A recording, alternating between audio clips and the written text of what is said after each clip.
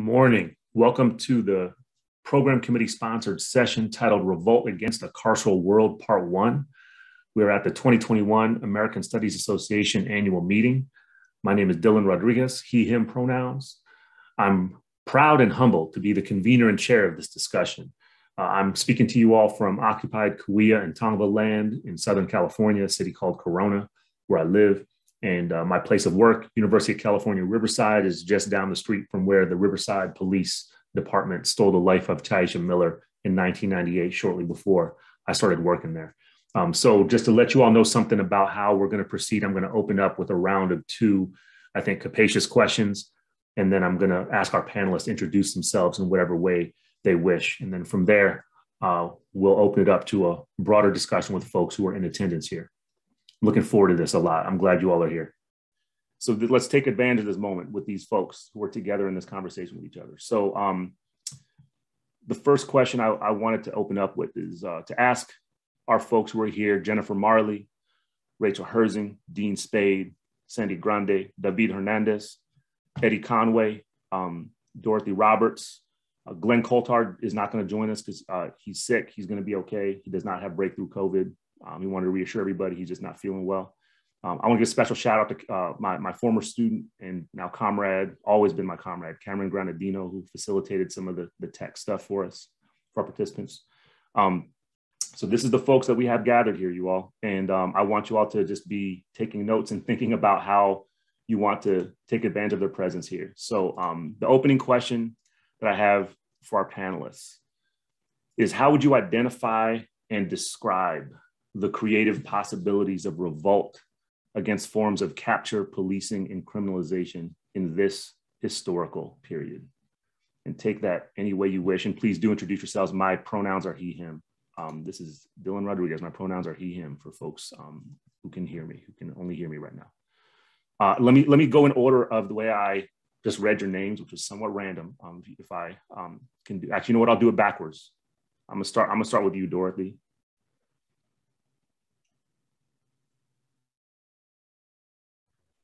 Okay, thank thank you, Dylan, and thanks so much for bringing us together. I'm just thrilled to be among these wonderful abolitionists and who I've learned so much from. And thank you also to all of you who gathered to, to listen and engage with us. Um, I'm Dorothy Roberts. I uh, am a professor at University of Pennsylvania, and uh, I am zooming in from West Philadelphia, uh, the land of the Lenape people and the site of the Philadelphia, Philadelphia Police Department's bombing of the MOVE uh, families in 1985. Uh, and I use she, her pronouns. So uh, for me, you know, there's there's lots of ways I could answer this, uh, but I'll just highlight one, which is uh, the increasing way we're understanding connections among different systems and institutions that operate by carceral logics that are connected to criminal law enforcement and surveillance and incarceration, but not solely confined to them. Uh, so I'm referring to, for example, Maya Schenwar and Victoria Law's Prison by Any Other Name, where they show how reforms that are supposed to reduce incarceration and all the suffering from incarceration and justice from it can be equally oppressive as prisons are.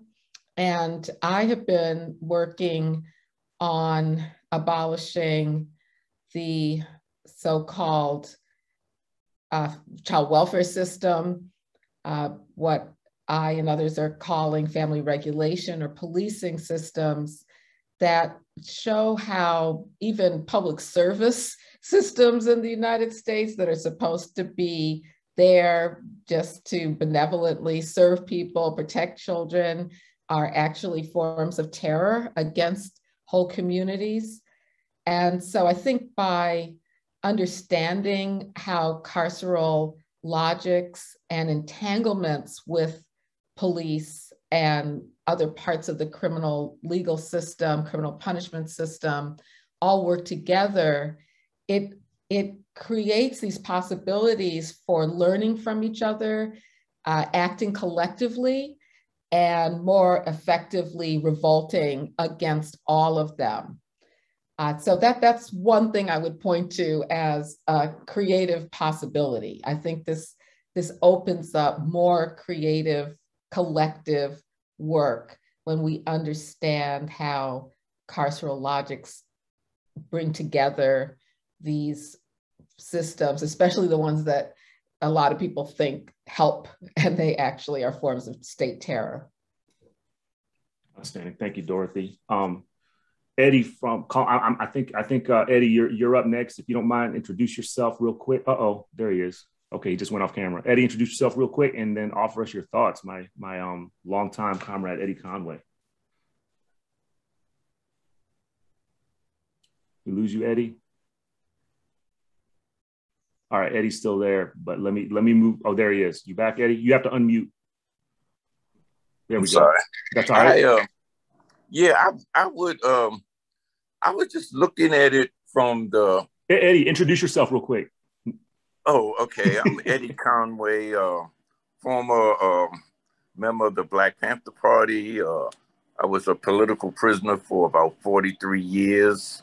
Uh, I'm a executive producer at the Real News now. Um, and um, oh, I guess that's that's the sum of it. Okay, I I look at it from and I and I look at your questions and I I take them from the criminalization point first, the police point second, and then the capture third. Uh, and so early on, uh, we have to recognize that when we say mass incarceration in the prison industrial complex, it's really not true. It's targeted incarceration. It's aimed at uh, people of color in general. 75% of the people in prison, uh, people of color. I mean, across the nation. Uh, obviously, the, um, everybody knows this, but America has the largest prison population in the world, uh, two point some million. And the criminalization starts with the laws, uh, either the broken window syndrome that occurs in poor communities and, and impoverished communities, Black communities, communities of color. Uh, a tremendous amount of young people, men, young boys, and young girls now are incarcerated uh, as a result of sitting on the steps or walking across the street. They start off getting juvenile records. Uh, those records transfer to later on to adult records. Uh, so the the whole thing of criminalization is a is a point that we need to look at first because that's where it starts at. And obviously, you can change the laws. Some states have changed the laws. Some local communities have changed the laws. They have been doing that kind of work. But in addition to that is a process of uh, jury nullification. And that's in the Black community and communities of color per se. Uh, you have the ability to set on juries and make decisions about whether or not someone has done harm to your community or whether it was something that you don't need to incarcerate that person for. Uh, so I think that's that's one of the things, and and and that jury nullification, and I'll talk about that in a, in a second, uh, has been used in uh, other uh, localities, and it's been effective.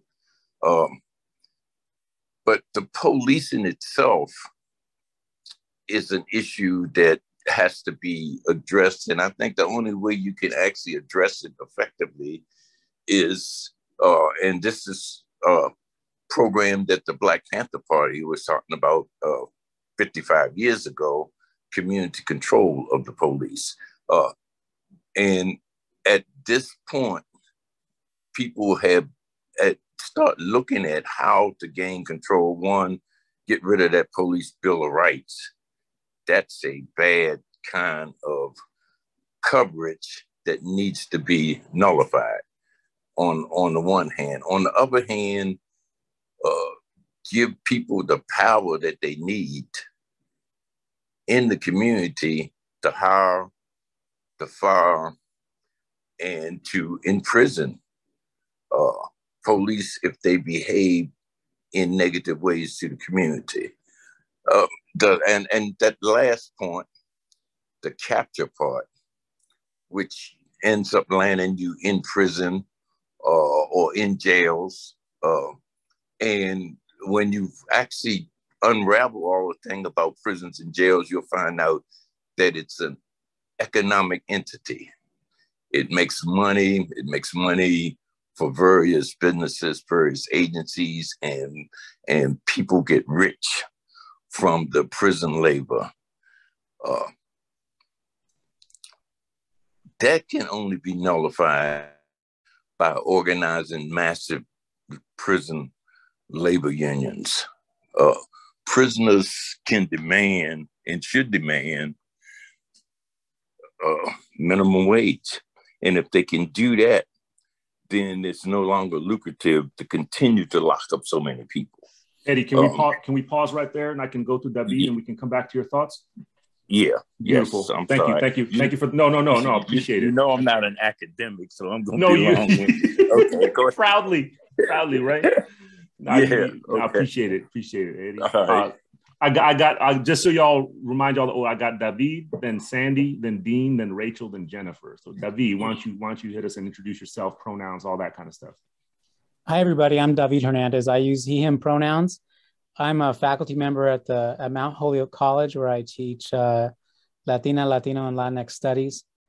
Um, I really thank thank you, Dylan, for inviting me to this panel. I'm already have two pages of notes just from Dorothy and Eddie um, so far, and uh, um, you know, I, I, really liked your question. I mean, I, I guess I just can't. When I saw it initially, I just couldn't help but thinking of of the sort of creativity and inspiration I drew just from the fearlessness that we saw, you know, in the streets over the last few years.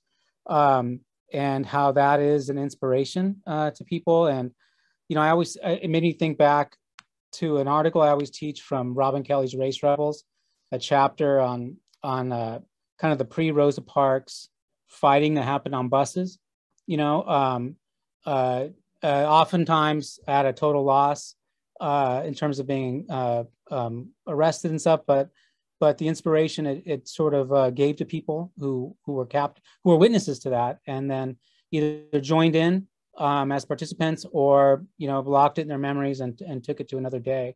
And so um, that was one of the creative possibilities. In, in a similar in my area i, I, I focus on immigration enforcement. Uh, in the last few years um, there was a bunch of immigrant youth who actually put placed themselves in uh, deportation proceedings in order to enter into the carceral space and infiltrate that space and then organize from within side. Um, and there's actually a, a, brand new movie about that uh, called The Infiltrators. Um, that, that's interesting. Um, but uh, you know, so there's all you know, there's all kinds of uh, creative possibilities there. People, you know, I I can't pretend to, to think of these things on my own. I I, I have to learn by exa- the examples that are set before me. So um, yeah, those that's what I that's how I'd answer those questions. That question. Yeah, I watched I watched that film and um, it was uh, it was something beyond inspirational. Actually, it was like a blueprint. Yeah, you know, it was a, and a blueprint both in terms of tactics and in terms of people's fucking courage. Right. You know, like it was. It's it's just yeah. It was it blew me up. Um, thank you, David. Uh, Sandy, please. Thank you, Dylan. Thanks to everybody. I appreciate all the words so far. Um, Ayanchu, Ayanmi, Winas Tardis, Sweetie, Sandy Grande. Um, uh, I identify as a Quechua National, use she, her pronouns.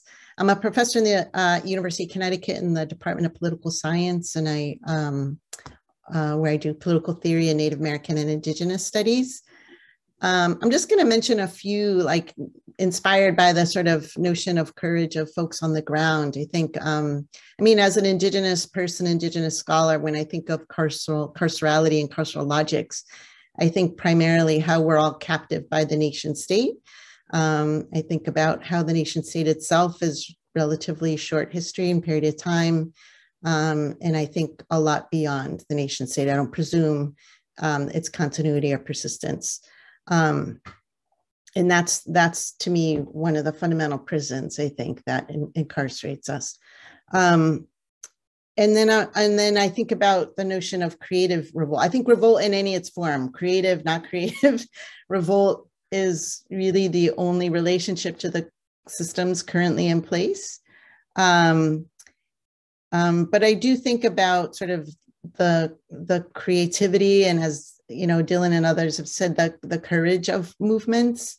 Um, in my own sort of life, I've done some work with New York uh, Stands with Standing Rock um, in in the wake of that movement, uh, or really in the midst of that movement. Uh, the syllabus for that is you can still find online. Um, have done a lot of work with the folks that Decolonize This Place in New York, and um, their work really is just tremendous, um, both in terms of its creativity um, you know, if you look at the work um, done uh, around um, uh, statues and edifices of various kinds, monuments to to capitalism and colonialism that are all over the city.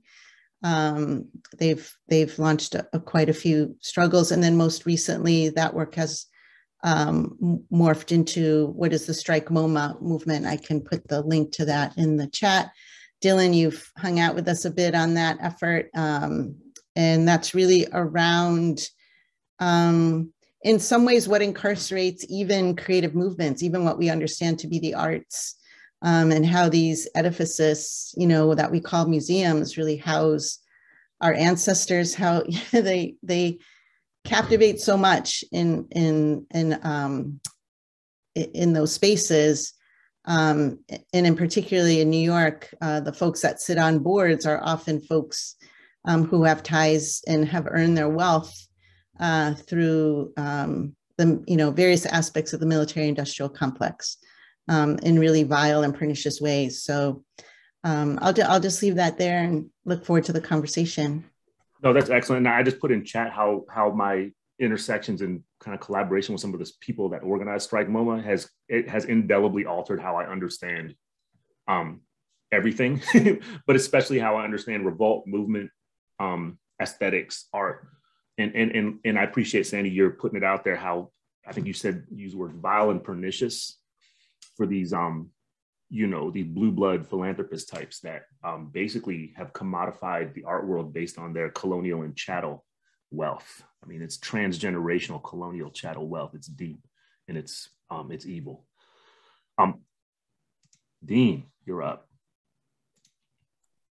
Thanks. Thanks for inviting me to this, Dylan. It's such an interesting conversation. Really delight to be with all these people. Um, I'm Dean Spade. I usually live on Duwamish land, Seattle, Washington, um, but I'm not there right now. But um, and and I teach at Seattle U and involved in various things there. Um, I, um, like David, when I th- thought about this question, I immediately just thought about the recent, um, uh, you know, recent kinds of mobilization that we've seen, both in terms of the uprising against um, anti-black racing, racism and policing, and the kinds of mobilization that have happened around COVID and helping people survive.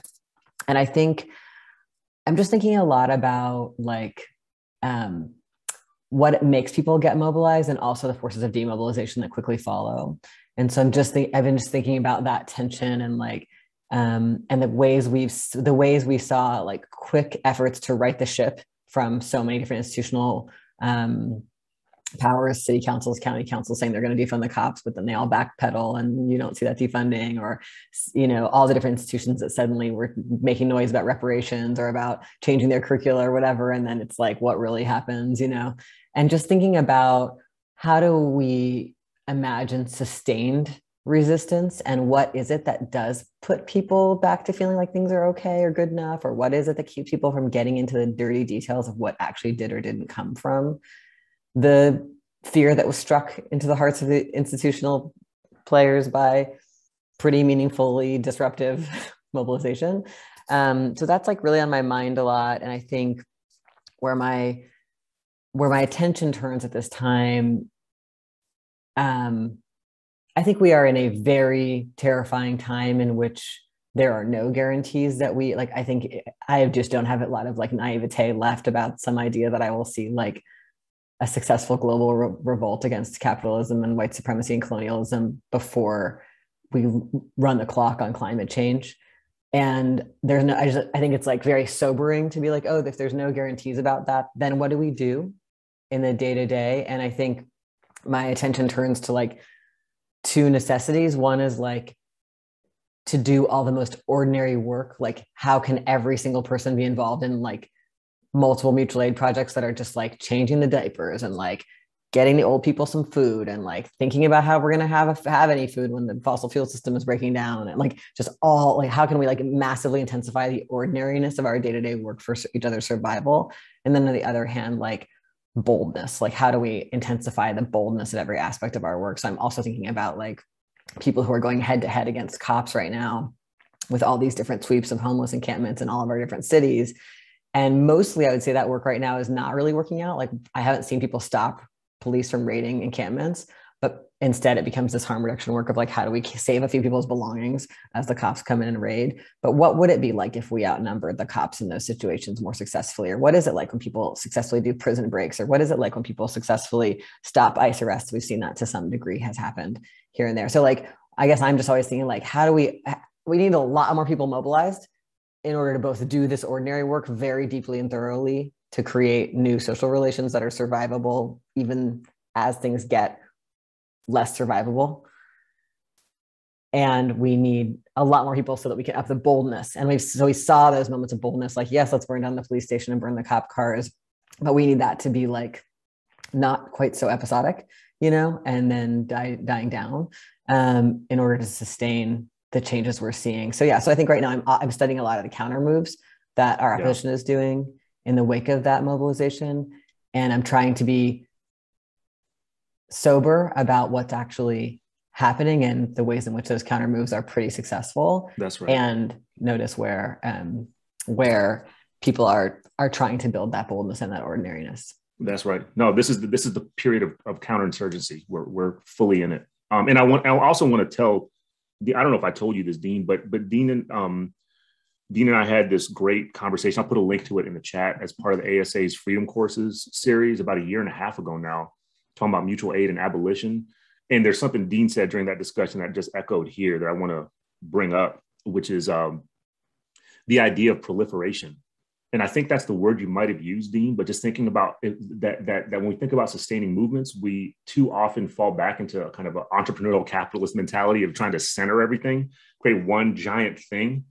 And I remember Dean intervening on that and saying, no, that may not be the best model. It probably isn't the best model. Maybe the point is to proliferate so that there's no center.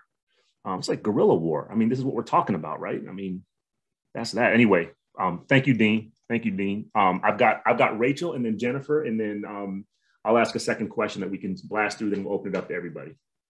Thank you, Rachel. Yeah, thanks for the invitation, Dylan. I'm really grateful to be in conversation with these people I admire so, so much. And as often happens, Dean raised lots of the many things that are on my mind. Um, and Dean keeps it real. So, uh, and I, that's one of the things I love about you, Dean. And the fact of you keeping things real, excuse me, also allows me to focus, I think, more on the creative possibilities part of the question. So I'm going to think about what's possible rather than what is. Can you introduce um, yourself real quick, Rachel, too? Oh, I'm so sorry. It's okay. Yeah, thank you, Dylan. My name is Rachel Herzing.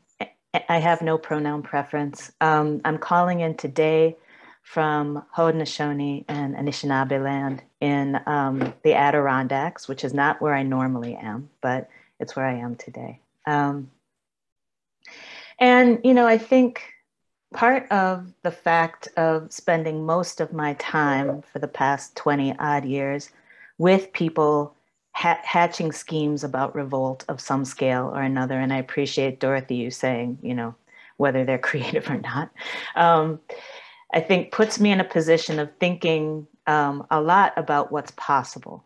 Uh, and so, you know, for me, I think a period of crisis is also a period ripe with possibility. Um, and I think we saw that last year um, in really, really interesting ways.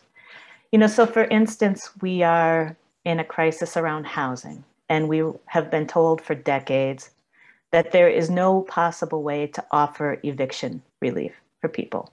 Turns out, not so. Totally possible to do that. And I think that changes the, the baseline of what, what we can demand, what our expectations are about housing. And the fact that people have continued to organize and mobilize around extending um, the eviction moratorium, I think, speaks to the possibility of more and better in the future. Same again with releases from prison, right? We've been told for decades and decades under no circumstances can anybody get out of prison ever, even if they're about to die in prison, right? Too dangerous. Turns out not so.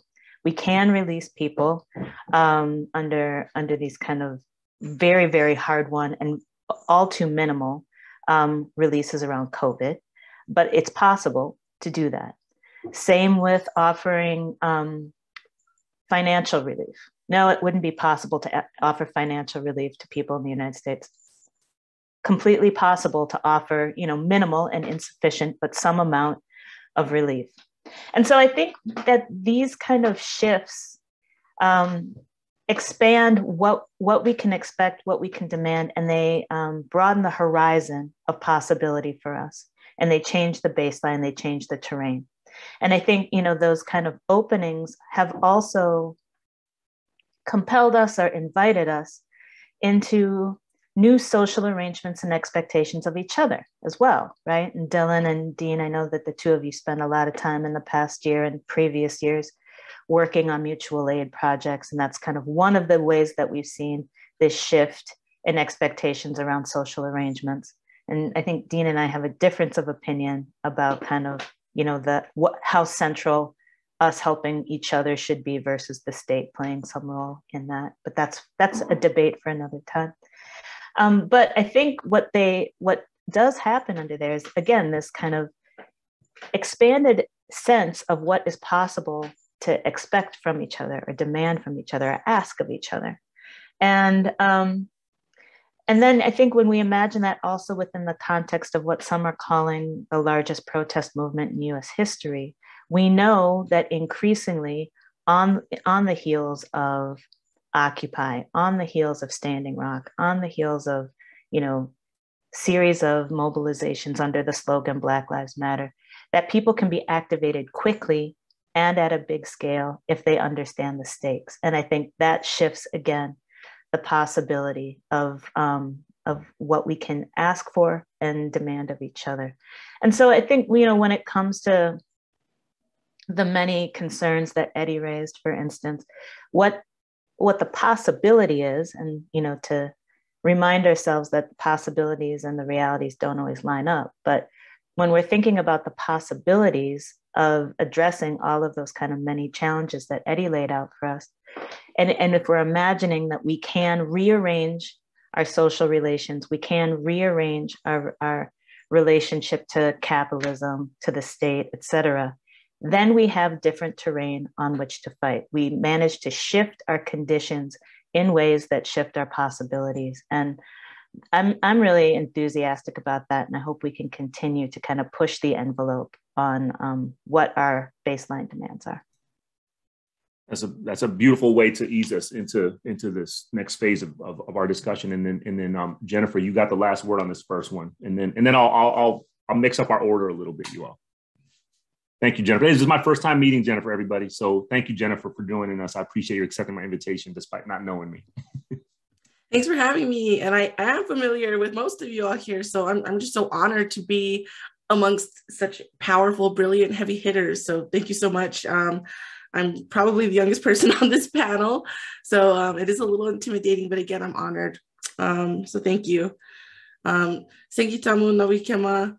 Uh, my name is Jennifer Marley, and I am a citizen of the Pueblo of San Ildefonso here in New Mexico.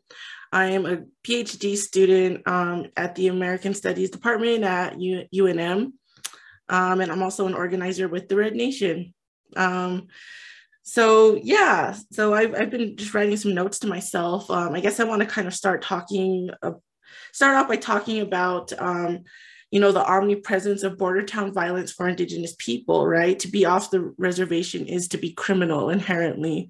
And um, this is actually something, I mean, it's border town violence and the and striving for border town justice that is really the, the basis of the Red Nation and why we came to be. And um, I wanted to um, talk about how I think one of the biggest obstacles for creative possibilities um, you know, against carcerality is um, talking about the fight against neoliberalism and individualism, right? I think that there is almost a carceral culture created even around social media. We're always looking to youth and young people, and the way discourse kind of gets um, muddled in the realm of social media. And so, you know, the the, the infamous cancel culture um, in many ways can contribute to the normalization of, carcerality. Um, you know, even in just our everyday interactions with each other, we become the police. We police each other. We police each other's behaviors and and opinions um, that we put out there, and um, that that is the ultimate enemy of collectivity, which I truly believe is what we need to give people to give people the chance to be better. Um, and in addition to that, like we were always thinking about um, people's material conditions. And so I have to remind myself that uh, revolutionaries, they're products of their material conditions.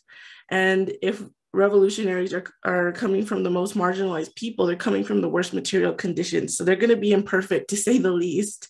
And, um, you know, so there's this patience that we need to have with each other. And, you know, I always think about um, Leslie Marmon Silko, well known, um, you know, Pueblo author and scholar. And um, she always in her books depicted the protagonist as very imperfect, very faulted, um, as criminal, you know, according to, you know, how we understand, you know, criminal through, you know, settlers, the settler states, you know, set of laws.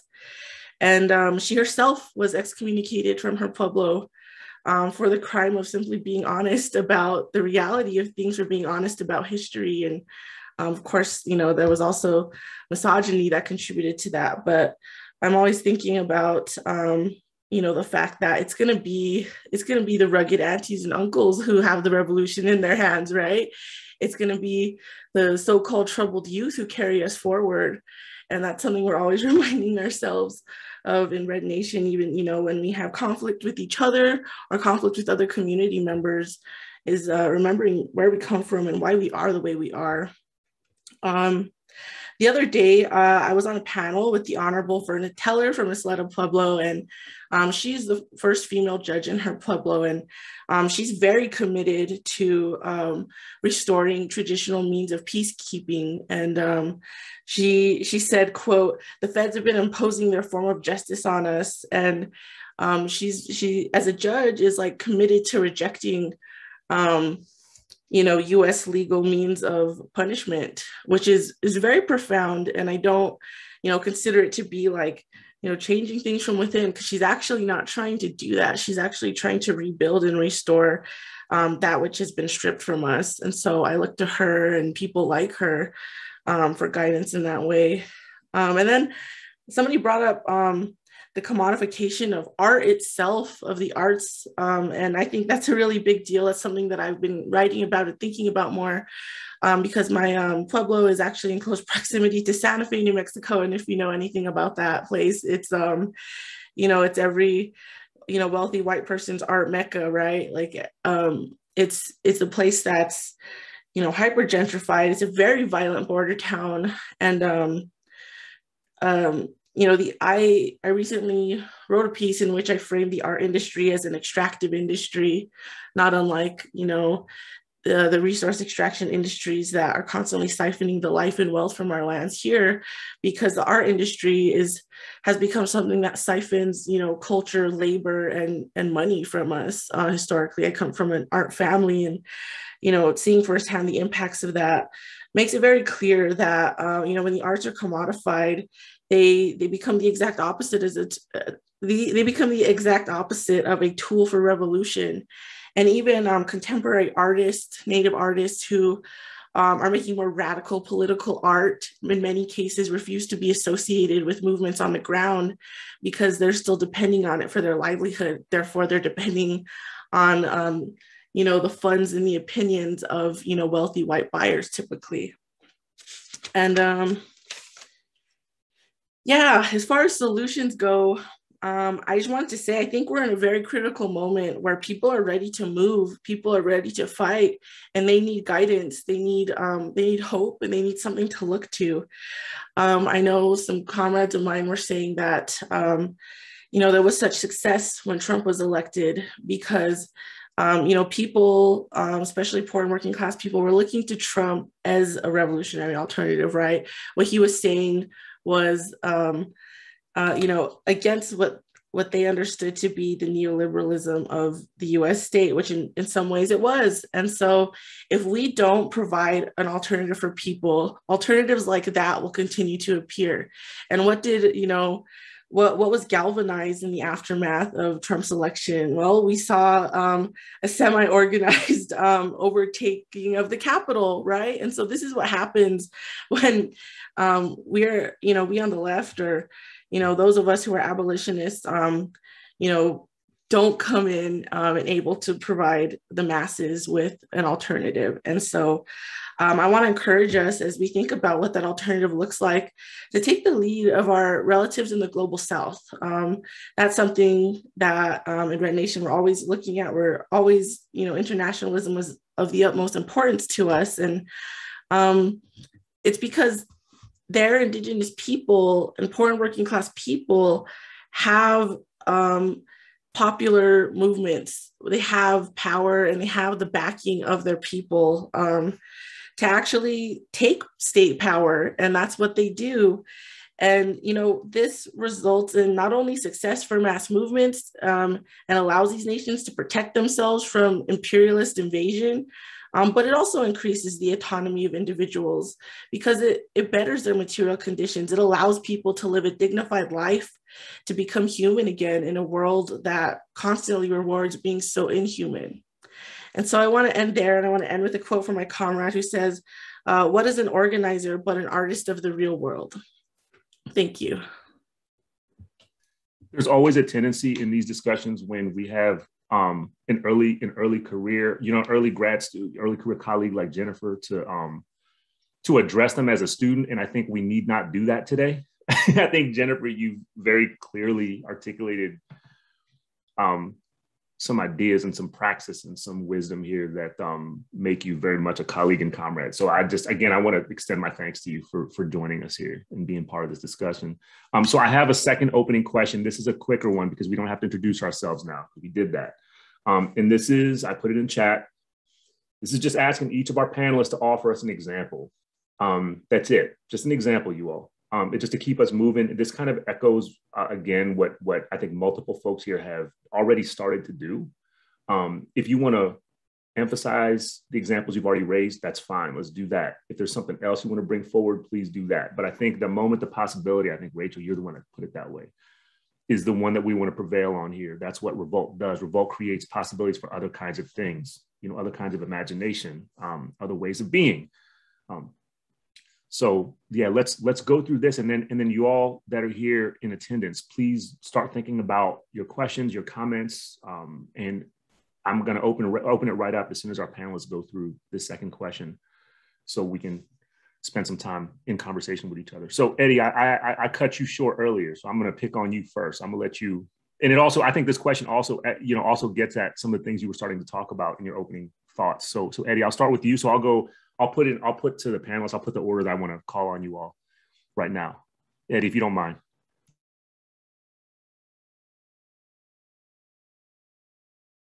Unmute. Okay. Um, uh, uh, let, us look at jury nullification for a minute there. Somewhere back in the past in Tyler, Texas, uh, several white police ran into the wrong house, ran upstairs, uh, shot to death a 80 some year old woman in her bed. Um, uh, later on, it was discovered that they should have been next door.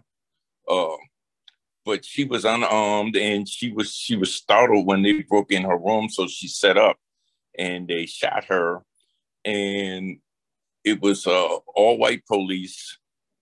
Uh, the police end up having an all white jury and they found the police not guilty. The Black community, in response to that, did a, a thing called jury nullification. They decided that from then on in, any Black person that went up in front of a judge and a jury that did not harm the Black community, they would release them they would vote not guilty for him, even if they hung the jury up. And they did this process for a couple years, and uh, it collapsed the jury and the criminal justice system. They had to move it from Tyler, Texas, to somewhere else, but it was effective, and it's a process that was used then. It can be used again. Uh, and it should be used uh, in communities of color when the person that's being tried did not do anything that harmed the Black community, whether they were jaywalking or they broke a window or they stole an apple or whatever it was. If it did not harm the Black community, they should be released. And I think that's one example. Uh, another example probably is uh, Newark, New Jersey. Uh, Baraka, the mayor up there, it's just transforming the police department completely. Um, and in other places, there's requirements to move police within the jurisdiction in which they police. Uh, and their, their behavior changes immediately. That doesn't solve the problem, but that gives the community some control and some input. And so it's examples like that that uh, I think we should look toward right now uh, in terms of where we at historically. But um, I'm, I, I am concerned. We're at a crossroads. You know, we're standing between saving the planet and having a fascist government uh, insert itself in the next couple of years. And um, uh, I agree with Dean. We have to look at proliferation. We have to look at we can jump back to the French Revolution, in fact, and you'll see that there were 10,000 little organized saloons in France before that revolution jumped off. Each one of them were doing their particular thing, and each one of them were organizing. But when the the stuff hit the fan, they all came out. And there was no way to target one group or group because there was 10,000s. Um, and that's what we need to be thinking about here. Yeah, this is great. Yeah. Time. No, no, that's excellent. Thank you, thank you, Eddie. See, look, I didn't even, I didn't even have to, I didn't have to cut you off this time. It was beautiful. Thank you. The second question, y'all, just to remind um my, my co-panelists, I put it in chat and I didn't read out loud. The second question we're, we're going through with our with our um, with our group is: Are there current, recent, or long ago examples of anti-carceral, that is, abolitionist and or proto-abolitionist forms of creativity, movement, or community making that we should be reflecting on during this moment. So, um, Eddie, thanks for getting us going with that. Uh, and let me let me um, shift it over uh, to our next respondent. Let me go to David. Thanks, Dylan. And um, I also agree. Uh, I'm glad Eddie brought it back to this proliferation of you know small acts, small groups all over the place. Um, but I also wanted to go back to Eddie's vein of some of kind of like a practical form of reform, and I'm thinking of forms of decriminalization that can occur, you know, you know, on multiple levels, the federal level, the state level, city, on your college campus. Um, but the, the example I like to think of is um, uh, in immigration uh, law. If, if you are in the if, if you are convicted of or sentenced to anything that's 365 days or longer, in the criminal courts, that triggers deportation in the in the in the immigration system. Uh, so you serve your 365, and then you then you get deported. Uh, what the state of California did as an act of decriminalization, they lowered the maximum misdemeanor to 364 days, thereby removing the trigger towards deportation. And and, and um, you know, thousands and thousands of people no longer are separated from their families for a misdemeanor. You know, um, And I think even these small, you know, bureaucratic, an eye towards these small bureaucratic changes can can have an effect. Um, of course, there's always a limit to these as well. We have to think about. You can you can create drug reform programs for certain people, but they still will trigger for other certain people, immigrants in this case, uh, deportation nonetheless. Even if you go, you don't get sentenced, but you do drug reform, you still get deported for the for that drug thing, or just decriminalize marijuana. What about everyone who is, uh, in the temporal sense, was criminalized by marijuana? You know, and so you have to sort of have an eye to both th- those limitations. But I still think uh, there's a lot of ways uh, to um, use decriminalization on multiple levels um, to uh, to help decarcerate. So I'll stop there. Thank you. Thank you, David. Uh, Sandy, I got you next. Go. Okay, I'm just going to give a quick list here. I mean, mention the ones I already uh, mentioned, which is uh, Decolonize Space and Strike MoMA. Um, in terms of, um, you know, examples, I think a lot of coalitional indigenous movements and peoples and communities have been the example um, of revolt for so long. I think uh, in my own communities, whether it's going back to um, pre-Incan, even pre-Incan modes of uh, liberating water uh, for our peoples that are more effective than anything engineers can do, and, and having a lot of those efforts now being recognized uh, by government. Um, and I think of language, you know, um, there's a way in which e even, you know, English language in particular, like if we, the ways in which carceral logics, I think, are just inherent to language is something um, to think about. So, um, you know, I always advocate for folks to to learn uh, Indigenous language.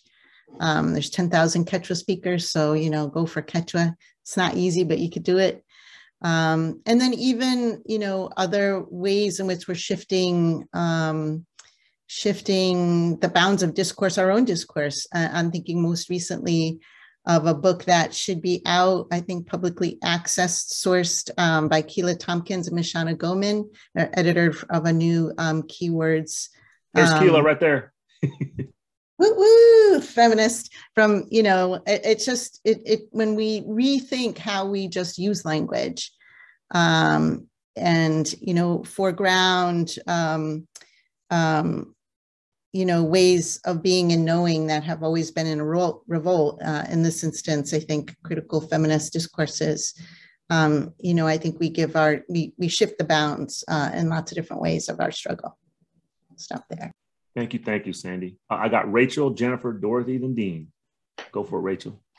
All right. Um, I'm gonna I'm gonna break the rule and give two, but um, I'll, I'll do them quickly. So I just want to say out loud always big ups to Jerome Miller um, and his um, example of shutting the training school system in Massachusetts. For anybody who believes it is impossible to shut down a prison system, this man did it. Um, and then the other thing that I'll mention briefly is something I've talked about um, before, but I think is good for this, this audience, which is um, the Greek sanctuary campus movement, uh, whereby um, you know, cops were not allowed to pursue protesters and, um, you know, and leftists in general onto college campuses. And that was a no go zone for them. And I know there have been some experiments with that um, here in the United States as well. And I want to give a shout to everybody who are working on the cops off campuses stuff because it's really, really inspiring.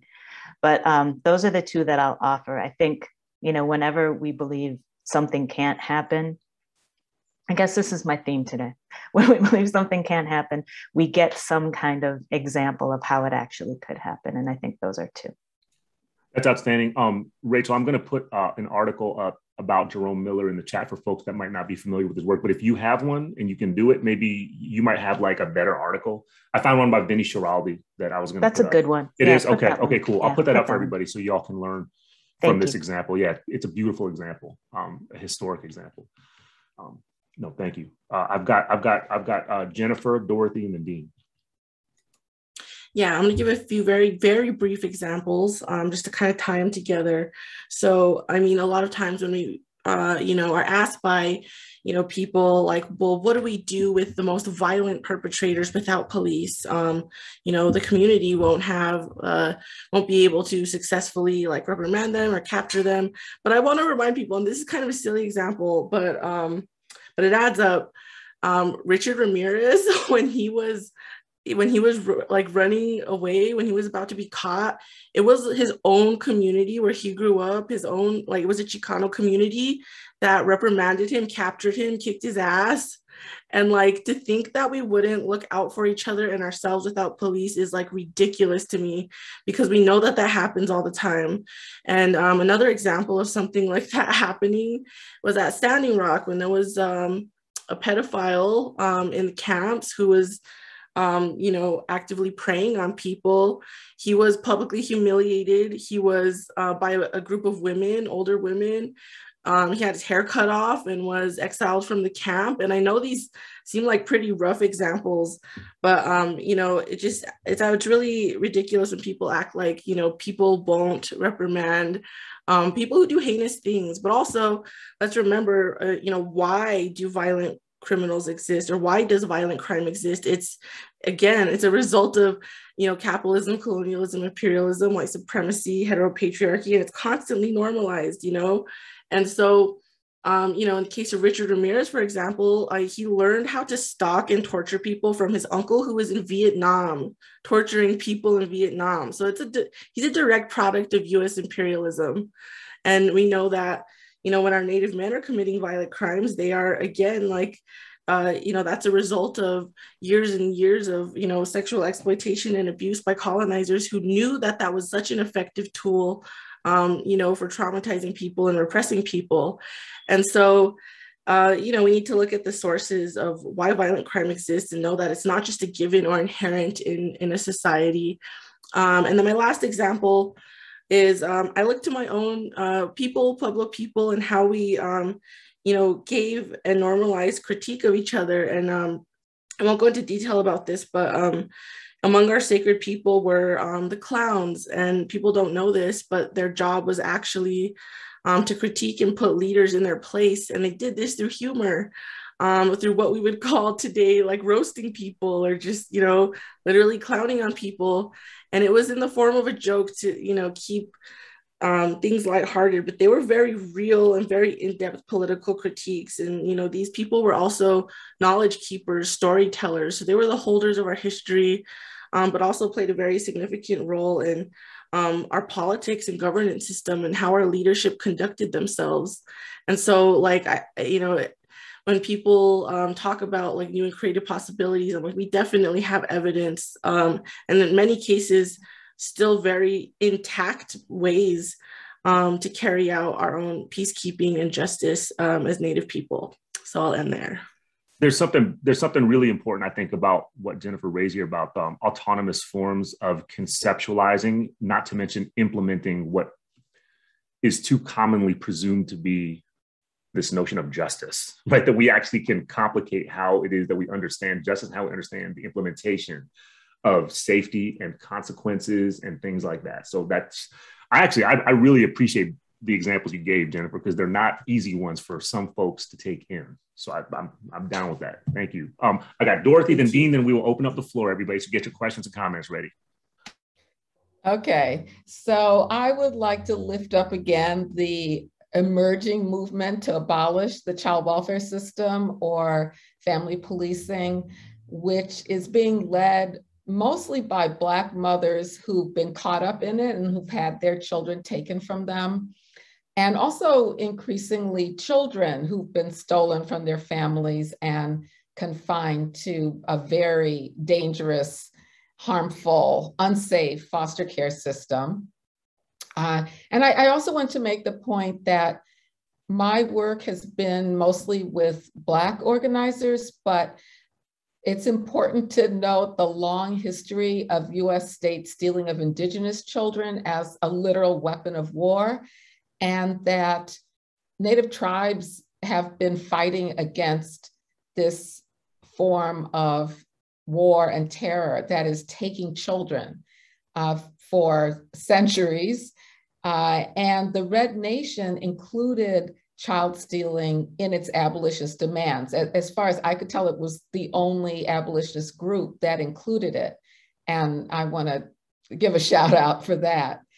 Uh, th- these mothers have so much courage. We were talking about courage earlier. They have so much to lose because the state could come in and take their children at any moment. Some of them still have children in foster care, which means they might not ever get them back because of their resistance, but they're the most outspoken and bold of any organizers I've ever met. Uh, they're organizing to dismantle the child welfare system by shrinking it and mitigating the terror that it inflicts on families, but also creating caring ways of actually providing material supports for families and actually keeping children safe.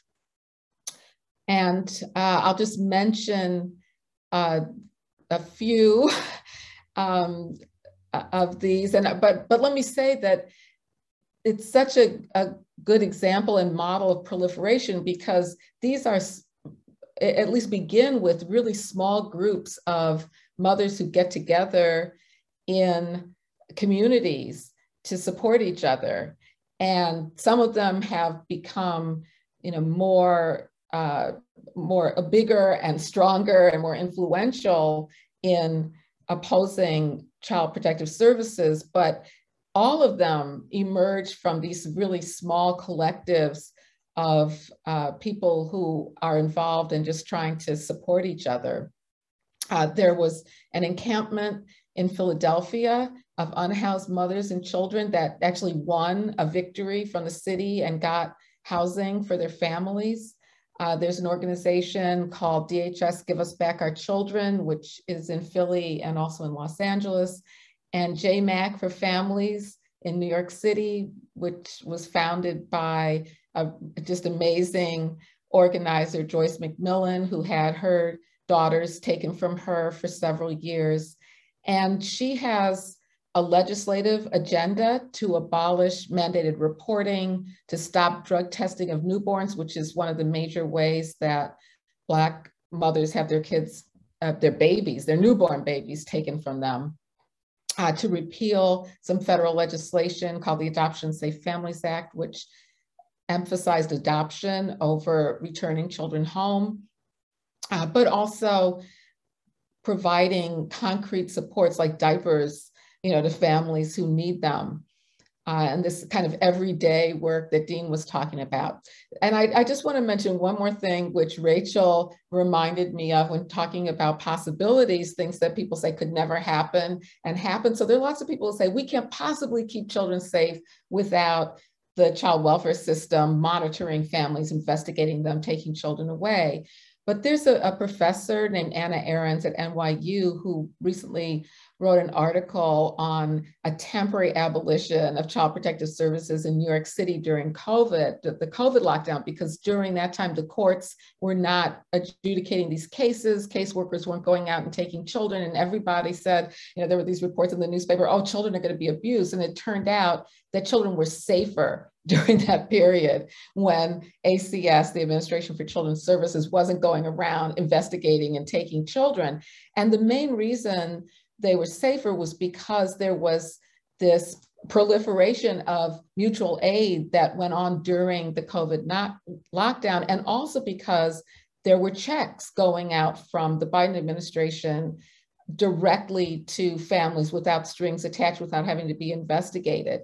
And those two actions uh, kept children safer than the kind of terroristic system we have now. So we do have these examples that abolition can work.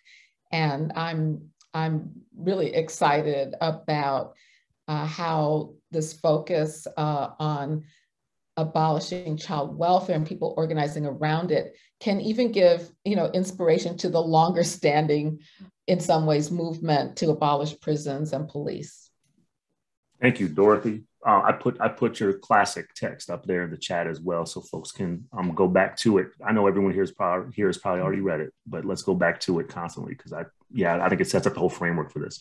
Um, shameless uh, shameless plug, you all. Um, Ab, uh, Kaepernick Publishing just put out its uh, the the hard copy version of Abolition for the People yesterday. It just came out. I'll put a link up in the chat. A bunch of our folks um, from the movement have published these short articles in it, including Dean, um, myself, you know, Mariame Kaba, Robin Kelley, Mumia Abu Jamal, uh, you know, Andrea Ritchie, like a, t- a ton of a ton of us. Folks, sorry if I missed you if you're in here and I missed you, but a, a bunch of our folks are in there, and it's um it's a beautiful volume because everything is so short. It's useful for all kinds of different pedagogical contexts, and also provokes exactly the kind of dynamic, um, ongoing critical thinking and collective study around abolition that Dorothy is urging us to do. So thank you. Dean, close us out on the second question, and we'll open it up to everybody else. Yeah, um, I mean, you all have said so many things that are like my brain is in a thousand places. Um, but this piece of what, what Rachel said, which is so true about how crisis is opportunity, and also like Rachel gave me like a flashback to how I felt towards the beginning of the pandemic, where it's like people are talking about universal basic income and people and they're extending all these benefits and they're blocking evictions. Like, what is possible? And and then and also the rollbacks but you know how, how that's felt but it was cool for me to like take that journey you know um, about this point which is so true which is that disaster is creates rifts in like current reality and like what happens in those rifts. And like on the one hand we all know that one of the things that happens is like the government rolls in with like a bunch of tanks you know and like we should be and like fema doesn't show up. Like we know that disaster is often you know a, a moment for further extraction further reorganization towards you know white supremacy and capitalism in various ways. And we know that people show up in like, and I love what Jennifer was saying because it's like, it's about like how deeply pragmatic people are. And this is, I feel like, what we all get out of Mariame Kaba's work. She's just like always like, oh yeah, just do the thing, like just try the things, yeah. experiment with them, make them like abolition is about these like incredibly pragmatic, immediate, like, oh, like you can't live with your parents, you're in an abusive situation. How can your community take care of you? What would be the right break for you? How could we support your parents to not keep doing that like instead of this kind of like let's organize a giant system that takes children away from black people and native people you know, like like there's like you know this kind of abolition draws us back into our pragmatism so i guess the examples that i thought about with this question were a lot about that i thought about when hurricane maria um, tore up puerto rico and i have a very beloved dear friend who, who lives there and she talked about how she lives in this big apartment building and she talked about the kinds of things people did for each other throughout the apartment building you know take care of the elders and different vulnerable people in the group. And she talked about what she wanted to do to be prepared for the next storm and like how she wished that she had was more prepared to facilitate a meeting with hundreds of people to talk about coordinating coordinating some of those things in the building. Or just like this very pragmatic like now that i've been through this what's it like when the lights go out? She bought a certain kind of solar battery afterwards like just like this very pragmatic. So part of it is like, I think, can we look to places where people, um, which are all over the place, have, you know, what ha- the, the, the freezing weather that came through Texas last year, like what did people, what worked and what do people wish they had more are already in place? Like that's because everything we're facing is just like these cascading disasters of the long-term disasters we've already been in for hundreds of years, plus the climate acceleration disasters that are, you know, exacerbate everything. So I'm curious about that. And I think I also think a lot about the pragmatism of groups like Young Women's Empowerment Project, which doesn't exist anymore, but was around for many years in Chicago and supported people, young people in the sex trades, and just had these like, if you look at their reports and stuff, just like these very pragmatic solutions for like safety and well-being for the situations the young people in the sex trades find themselves in that were, you know, an, it's an anti-police organization that knows that that's not the solution. Um, and I also think about like the Safe Outside the System Collective and Audre Lorde project. Um, I think about like the materials on the mutual aid disaster relief website, just like these, like where are people just like, okay, knowing what's likely to show up with whatever disasters they're facing, and then like sorting out pragmatic steps and how can we get more people doing more of that on the front end of whatever the next ex- exacerbation of disaster is like or how or for the or for just the ongoing unfolding constant disasters of things like the family regulation system or the prison system how can we ha- help more people be mobilized for collective action on that instead of just trying to like eke through alone or with their family member and like have, have no one on their side you know? And i think that my desire in this as we face these disasters is just that more people experience deep accompaniment in these situations that i don't think are about to stop having us have extreme suffering but just that there be like a level of collectivity in the face of these things. I think it isolation is the most dangerous thing in our society. Like going through these things alone is so much more deadly than going through them with any kind of community or support even if you can't get somebody immediately out of the situation. So I'm just thinking about about that and about disaster as a place of um, of learning what our next pragmatic steps are. Thank you, thank you, Dean. As we open it up to the folks that are here, you you you know all of you making me think of um, a couple levels of um, dealing with the whole casualty management imperative that um, I think all of us here are drawn into in all these different ways. And how Dean, you put a point on this that the way the way that the way that anti-blackness and colonialism and you know these forms of genocide work is to individualize the casualties and by extension to individualize casualty management so it's isolated demoralizing humiliating and all this kind of stuff. And then there's this other possibility that you're pushing us toward actually all y'all pushing us toward what happens when you not only collectivize um, and therefore attach a different kind of politics to the experience of casualty right? Make it like this is a collective casualty that we're experiencing but also collectivize casualty management itself. You know that that if we have to be involved in this kind of emergency triage to help each other that politicizing and, and politicize is probably the wrong word right but um just collectivizing, thinking about it in this as part of this long archive of trying to stave off elimination, stave off liquidation, stave off capture, stave off the frontier, right? Stave off chattel, stave off the plantation. Um, and fuck it, burn the plantation down, right? All that stuff. Like that's all part of how we can think about the way the emergency work of casualty management can actually form a base. It can actually form a base to bring people into this work and to understand the condition um, as one that requires constant insurgency and something beyond insurgency at some point as well. Um, enough of me. Let's open the floor up to everybody here. Uh, please use, feel free to use the raise your hand function. If you're not comfortable doing that, feel free to use the chat. Do whatever you like. But we have a precious about half hour left with our folks here. So let's let's do this. Um, and I'll do my best to facilitate this. So don't make me go through uncomfortable silence here, participants, attendees so, somebody somebody either raise your hand or just unmute and start talking. I'm cool with whatever you want to do. Kyla, did you have something? I'm picking on you because you were the first one I saw to go. Okay, it's got a finger wag. My face is being supportive. okay, okay. Matthew, did you want to say something? I saw you go on camera. Matthew, no. Okay, okay.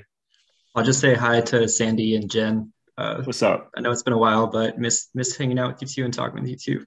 That's okay. We can just do this. We can do this as a reuniting moment too. That's cool too. Shout out to the Standing Rock syllabus, still going strong.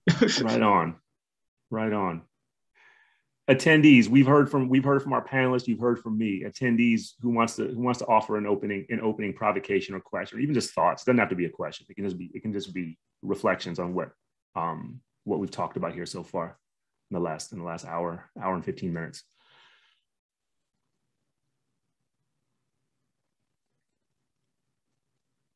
All right. All right. Y'all are terrible students, huh? All right. I have something for you. I got something for the panelists, but I'm asking the third question now. So I'm I'm really being self-indulgent. Please interrupt me if I don't see any raised hands. Okay. I have a question okay, for y'all. Okay. Okay, good. I'll Thank you. I'll do it for you. I'll do it for you. You rescued everybody from me. Thank you. Go, Kyla. Kyla go. Don't grade me on this question. All right. So here's uh, I've been something I've been thinking a lot about is a back channel um, at my own workplace. One thing, one of the ways that we've organized is um, is just by creating new back channels. And as I um, as we've and we've been really effective in, for instance, last week we stopped the um, the institution from firing an elder um, an elder in at, in uh, in my workplace, um, uh, uh, an elderly, I'm, I'm, I'm entitled to uh, share her information, but an older woman who, um, African-American woman, former Black Panther who refuses to vaccinate and they started procedures to fire her and we just stopped it uh, its and made them back down. And so um, I guess my question is, um, uh, I wonder if we can think about like the first steps to collectivizing just feel really hard right like it's it feels um, hard even though it's exactly the right thing to do and so i'm wondering if for those of you doing organizing um, you could you could think with me about those first steps from an individualized response to a, a collectivized action. Um, and I mean like really materially, I'm talking about like pamphlets, phone calls, texts, emails, uh, back channel emails, um, signal. What is that? What are those first moments? What are those first material strategies? Uh, or, or can you talk to us about um, yeah, just like the material uh, actions that led to the energy and momentum of collectivized change uh, taking place. Who wants to go? Who wants to take that on? This is a great question. This is a very catalyzing conversation. I think I think a lot of a lot of us are sitting here just taking it in, but um, that's what makes it I think challenging to do this. But who who, who can who can think help us think about Akila's provocation here? Go, Jennifer. I'll just say something brief. So, um, I mean, yeah, I think you're right with you know listing all these communications platforms um, because I think it requires just opening lines of communications, creating networks of organizers, right? And you know, these networks don't necessarily need to be, um, you know, like working on the same campaign necessarily even but just creating these networks of support goes a very long way and just being aware of what's happening in different places. I think you know a lot of times there's just emphasis on like the community the community are you from the community? Um, but when we get caught up looking at only um, our local areas it limits uh, you know possibilities it limits um, ideas and creativity and just you know camaraderie. And so i think um, being aware of what's happening in other places, taking note of each other's tactics, and um, being prepared to support when needed, when called upon, um, being prepared to, you know, even travel in some cases, which is, you know, it's difficult uh, and everyone has different capacities, but, um, you know, knowing who your comrades are is, is a great place to start, I think. I could, that, that uh, really resonates with me, Jennifer. And um, relates to what I was saying at the beginning about creative possibilities and understanding that carceral logics, you know, flow through and, and, and influence and shape and govern so many different institutions and systems and policies that at first may not seem as if they're connected, but when you see they're connected, then there's this opportunity for collective action. And I was thinking when you, when, um, uh, is it Kyla? Yeah, uh, asked the question, I was thinking about, okay, what's a, what's a victory I could think of uh, that, that, you know, I was engaged in that recently. And one was uh, the New York uh, the people in charge of deciding whether you can test babies for drugs without consent uh, came out and said that New York City hospitals should stop doing it. You know, so right now, New York City hospitals, the ones that are in Black and Brown communities, test babies and report positive drug tests to CPS.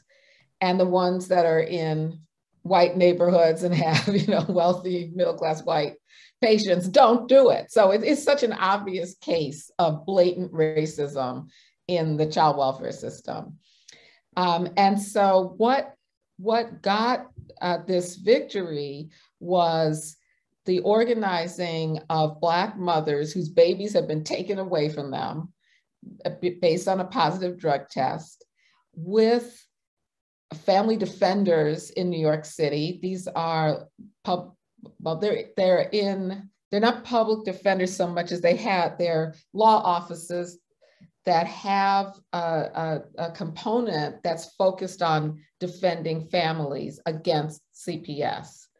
Um, they usually include social workers, uh, you know, who are connected to the system, and um, and and and community members as well.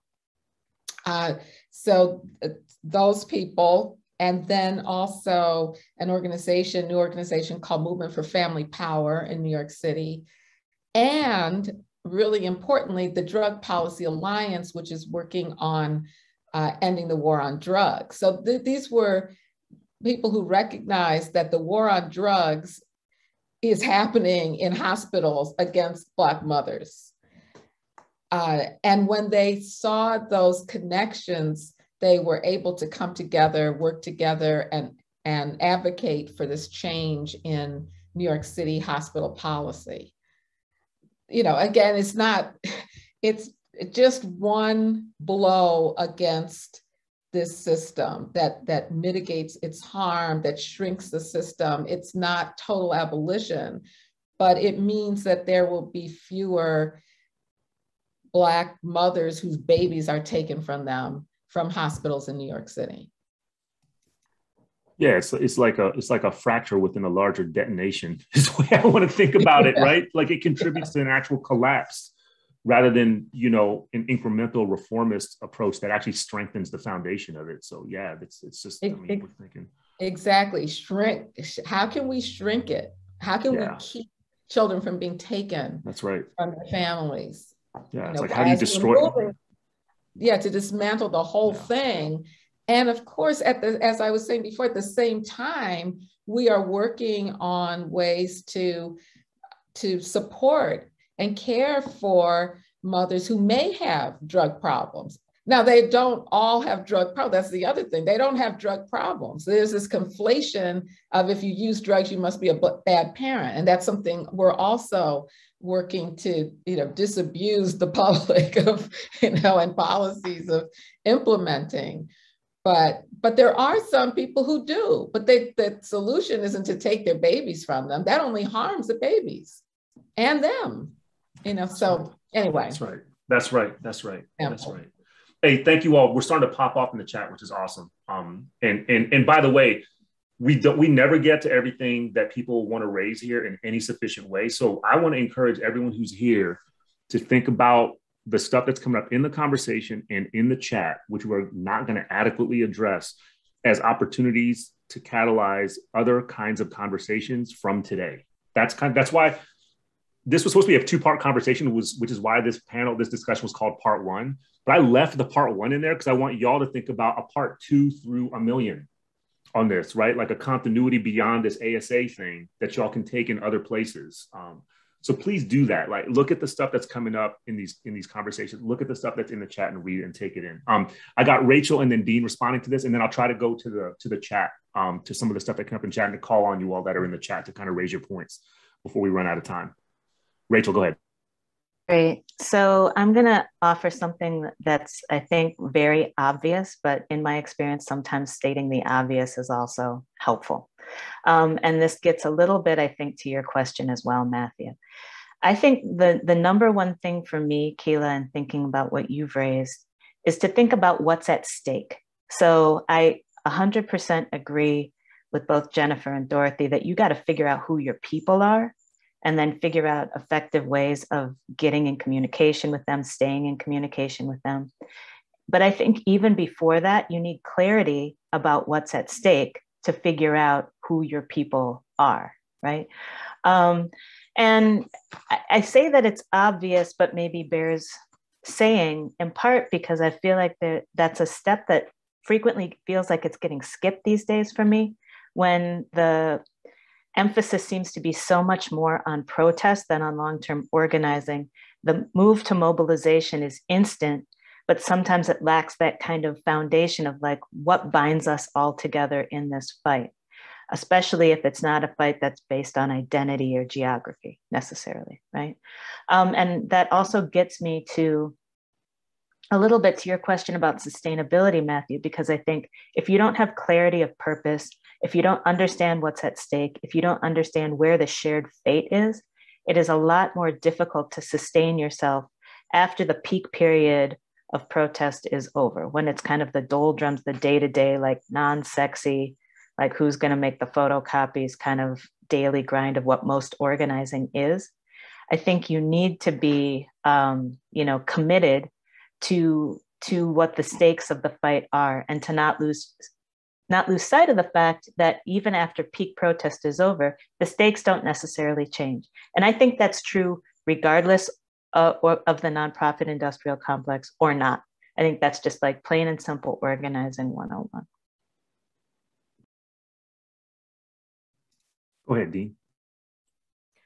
Yeah, this is there's so much good stuff in the chat too. Uh, um, I just wanted to, I mean, just to speak to that initial question about like, like I was just thinking about um, recently in the region I live in, there's like, you know, one of the little islands, its own city off of Seattle wants to build a new police station and another like little city nearby wants to build a new jail. And so it's like, I feel like for people in my circles, like when we hear about that, we're just like, okay, contact everybody you know. Do you know anybody who lives in this weird island full of rich people? Do you know, do we know anybody who teaches at any of the schools there? Do we know anybody who works social services there? Like just a, like you know a million emails and texts and then you know putting things on social media like how can and you know the, i think a lot of what the, and you know getting urgency around it and also asking people who live other places to still call like call into the city council meeting there because it just like freaks out these people in these tiny communities who are on these city councils where they, no one's ever said stop paying for more things for cops and jails you know? And i think that what I, all i'm all i want to the reasons i want to bring that up is just this sense of like the only resource we really have for our movements is people. Like that's like what we have. The other side has everything else. And so um, the question is, how do we make, and this goes to Matthew's thing in the chat, like how do we make a culture of like deep inclusion for lots and lots of new people in this kind of work? And we are very bad at that. And I think what happens is a lot of people show up, like moments like Occupy or last summer, all these times, and it's like people don't figure out how to do what I think Rachel's also referring to of like actually building sustained connection with each other and having that turn into a lot of projects and orgs where people like get a lot of deep political ed and stay in the work for the rest of their lives, which is like what we need. Like we don't need to just need people to show up like in the street for a month or for a week or for a night, you know? And so how do we do that? And I, um, so I, a lot of my, what my work is about these days is about like working with small groups where everybody's at volunteer about like how are we going to create a good culture inside every small group that keeps people together prevents and deals with conflict um, welcomes new people instead of having the first three people who started it burn out and then the thing stops happening. Um, and I wanted to say that I'm giving a series of um, workshops that are about these kinds of issues that are very pragmatic and for people doing this kind of work um, coming up at Barnard. The first one's happening in October. There's like one a month and they're sliding scale to free.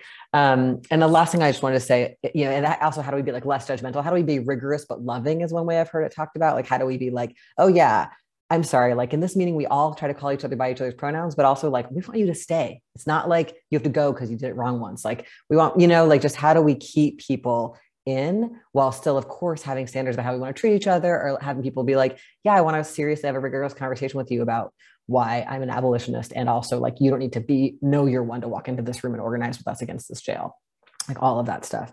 Um, and the last thing I just want to briefly um, address Melina's question about the state because I think it is always like underlying all of these conversations, and I am really curious to hear Sandy talk about this too, um, and Rachel and everyone. Um, but I, you know, yes, I come to this as an anarchist. I didn't, I didn't learn this politics through anarchism. I, I feel like I learned it through my experiences and interpretations of women of color feminisms of different kinds. Um, but yeah, I don't think that the United States or any nation state will ever be something other than an extractive project. And I sincerely believe in engaging with existing state forms. We must. So i really care about the defund work and I really care about the work that's about dismantling and I really care about all this annoying work I do in these city and county councils trying to stop these new jail and police station projects. I'm not interested in saying we shouldn't touch them, those spaces, but I am interested in knowing that the answers we need are never going to come from them. But of course, those things are devouring our communities. So it's like, yeah, I'm going to put a lot of time into trying to close the municipal court. Absolutely. Um, and I'm also going to fight against, like, right now, one of my former students is running for city attorney in Seattle. And like, do I believe in progressive prosecutors? But I know that the lady she's running against is like trying to bring Giuliani town to like Seattle. So no, you know? So I think it's like, I'm interested in, and I think, and I th- actually think most anarchists I know are in a really non-absolutist politics in terms of practice like I'll work with anyone to stop a jail. You know what I mean? Like a lot of people won't work with anarchists, but I will work with absolutely anyone who wants to stop the jail. And I will be honest about my what I believe. Just just like I think abolitionists are the same way. We're like, yeah, we'll work with anyone to stop the jail. And also we're going to be honest about what we think the the goal post is here instead of um, you know, we want a new choking ban or whatever. Um, and so I think that, yeah, but, but for me, it's it's actually really, really, really clarifying to know that I don't think there could be um, good cops or good prisons or uh, you know, like that the state project itself is defined by those things, as all the scholars and activists here have told us and taught us for so long, and that um, the state function itself, its job is to redistribute wealth upwards, to concentrate wealth um, in ways that are deeply racialized and fundamentally colonial and imperialist. And so, um, yeah, I'm not trying to take it over, if that makes sense. And I just want to be like explicit about that because I think there's still actually a lot of um, stigma around um, having a conversation about anarchism, even in even in spaces like these often. So yeah. Thank you. Thank you, Dean. So, so I've got um, a few a few things in, in the chat that I wanted to um, pay attention to. And, and Thelma, if, if you're um, if you're there, I was going to ask you to maybe you can read your question, or you can maybe just talk about where the question's coming from, if that if you're if you're available. Otherwise, I could just read your question too. Hi, everyone. Um, thank you so much for this amazing talk. Um, I also have a bunch of notes, and I think that's kind of where this um, question came about, and just thinking about the work that you're all doing that is very necessary, urgent. And I think about how heavy some of this work is, right, in organizing, coming together, creating these collectivities, um, and the tensions that may arise from that. And I also wonder too if there is, I feel as though the emphasis of joy within these movements, uh, within this type of work, tends to get offset or is a conversation that is outside of the movement. Sometimes it gets lost. So I wonder if there is a way to interface um, or envision, like you were all saying, is it possible? And I and I know that it's possible, right, to to think about joy as the as part of the process. But I'd like to hear how you all center these moments of joy within um, you know, things like creativity, revolt, and healing. Thank you, Thelma. That's yeah, I appreciate your you're putting it out there. So so this is what I'd like to do, y'all. We have about 10 minutes left. So I'd love to get a few responses to Thelma's question, especially from folks that did not respond to the first round of questions. And then if it's cool with folks, I thought it might be appropriate, um, given that you know Eddie's made his way over here today, uh, to close with uh, Navid's question. Um, which is uh, drawing from something Sekou Odinga said about U.S. political prisoners. So if y'all can humor me, I'd love to close with that and just hear from you, Eddie, to close us out um, as we as we leave in 10 minutes. So on Thelma's question about joy, how joy intersects, interfaces with revolt, with what we do, can y'all talk about this? And, and I'd love to privilege the folks that did not respond to the first question. So um, just unmute and start talking or, or make a gesture toward me.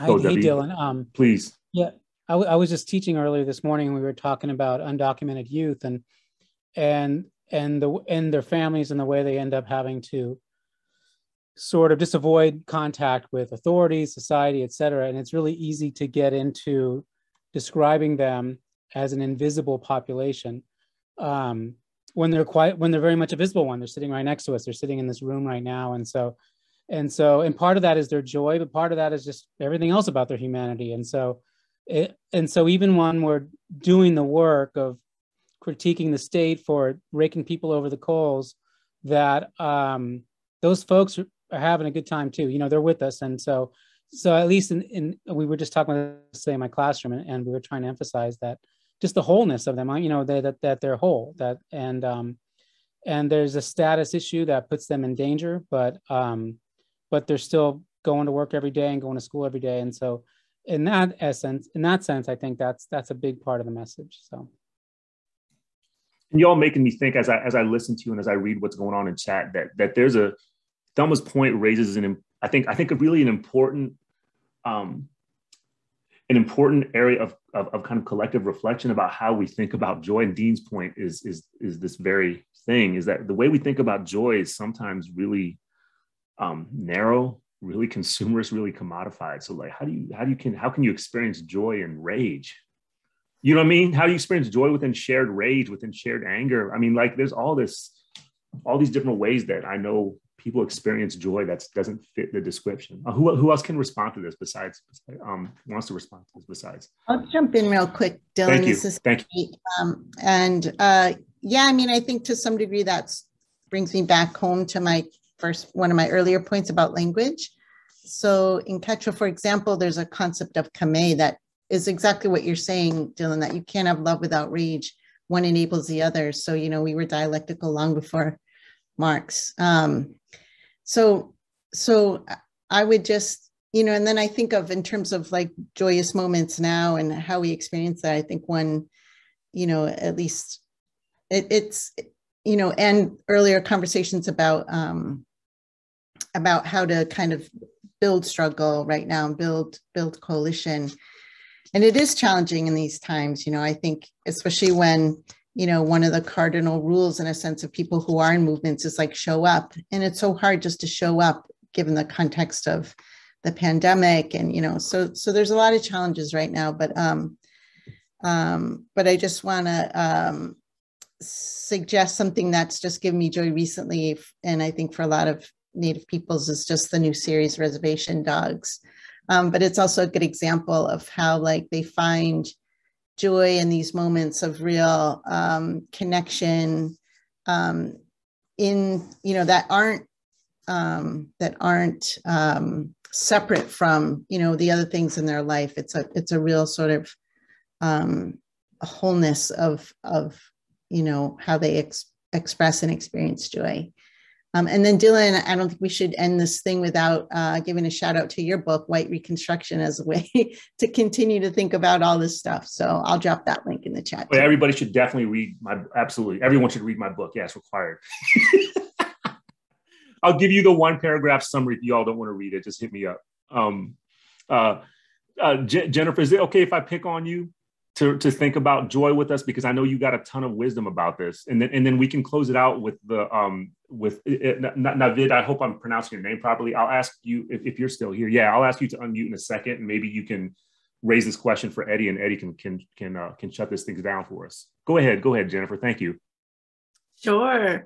All right. I mean, I okay. I personally, in my personal life, uh, really struggle to let myself feel joy, um, because I feel like you know when we're talking about the importance of being disciplined, it's easy to lose that, but we can't lose it. And I think one thing that um, you know we try to do um, within Red Nation is celebrate every victory, no matter how small, um, because I feel like a lot of times, um, you know, on the left we get overrun with demoralization, right? Like, um, and you know, talking about how like, oh, that's you know, what did that do? What did that ultimately do? Or, you know, what really changed? And like, we know that change is incremental sometimes, and obviously, we're critical of when people act like. Uh, you know like like dean was talking about earlier like um you know small reforms are an end all be all and we're done and we don't have anything else to do and you know obviously we know that um you know, reform is not the way to go, but it's worth celebrating the small victories that mean a lot to our people. Even something like Indigenous Peoples Day, which we know, you know, a lot of time only exists in the realm of representation, but um, you know, it is empowering for Native people, or even like the election of Deb Haaland, which, you know, I was personally very conflicted about. I'm not super happy with her leadership thus far, but what does it, what use does it do to like, you know, publicly shit on her when so many Pueblo women are like beyond you know joyed and uh, you know empowered by you know her coming to power and so i think we just try to look at you know what is ultimately going to get people motivated? What is going to help the masses fight demoralization? Or, or, you know like sandy's reservation dogs example. Do i have critiques of the show? And the producers of course i do.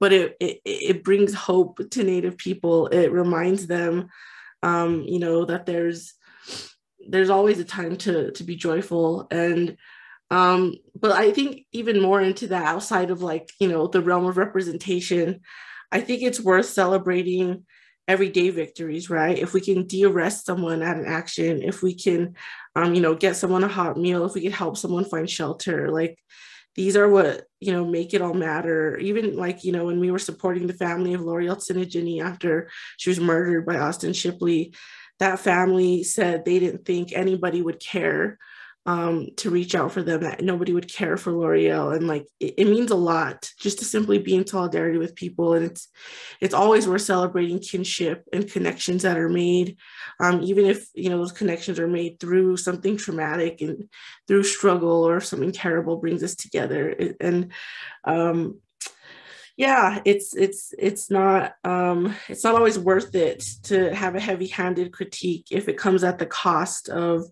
um you know empowering people thank, thank you for that jennifer that's yeah it's a really nuanced response i appreciate it and and um uh navid could do you, do you mind unmuting and maybe asking your question live um and, and eddie you can respond to it sure uh can you hear me yeah am i pronouncing your name properly it's Navid. Navid. Navid. Okay, I did it right the first time. Thank you, Navid. Yeah, Go ahead and raise a question. And, and, Eddie, close us yeah. out if you don't mind after Navid asks it.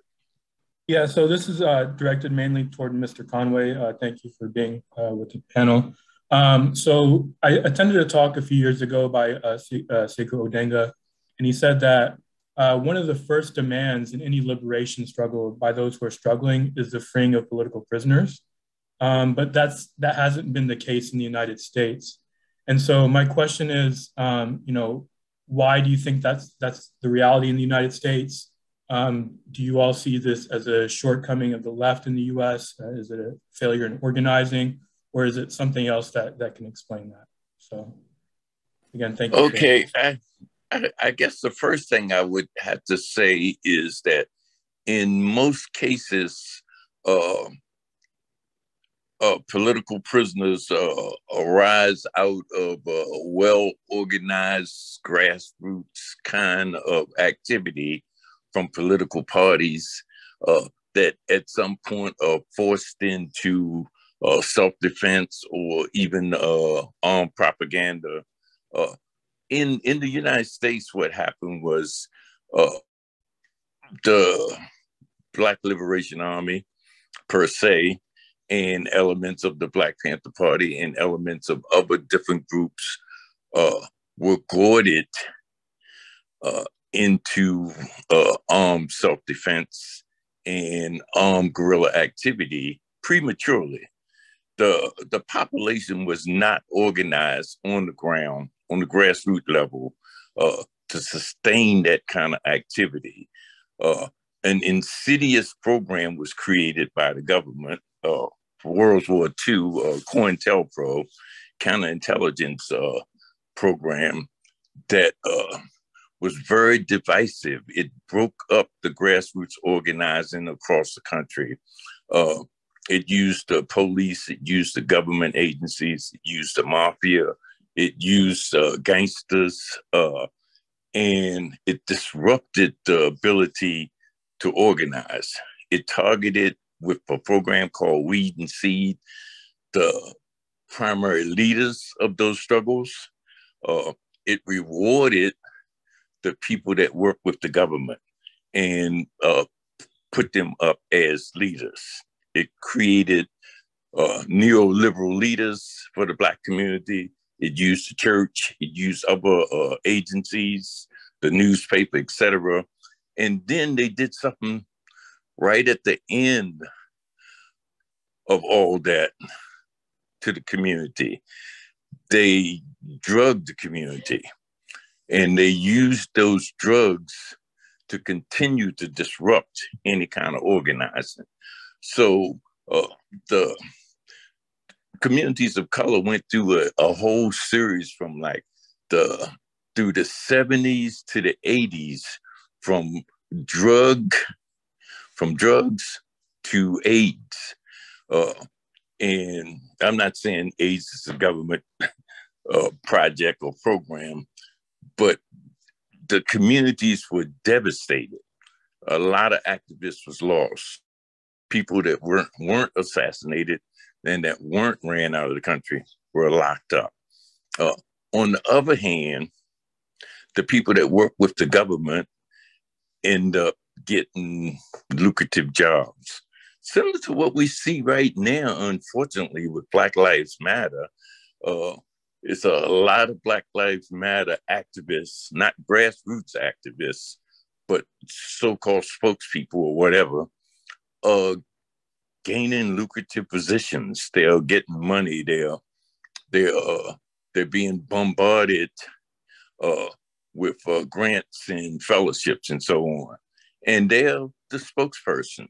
The ones that are down on the ground rebelling, they're being charged with terrorism in LA or in other places, or being ignored or or labeled or targeted. Uh, so you had several government programs. One, you had one that whole activity that we engaged in were premature. That's one thing. Hey, thanks to Eddie for the closing thoughts. That brings us to an end. I hope that folks will pick up on this discussion. And as we've been saying in these last few minutes, that we proliferate this set of um, provocations, this collective study, this work um, through whatever spaces, through whatever communities and collectives that we can participate in. Um, thank you. I, am deeply grateful to Jennifer, Rachel, Dean, Sandy, David, Eddie, Dorothy. Um, thank you all. And uh, I hope you all enjoy this. Hope the folks that are that are taking all this in will find that it serves their their skill sets, that expands their toolkits. Weaponize this, move forward. Thank you all.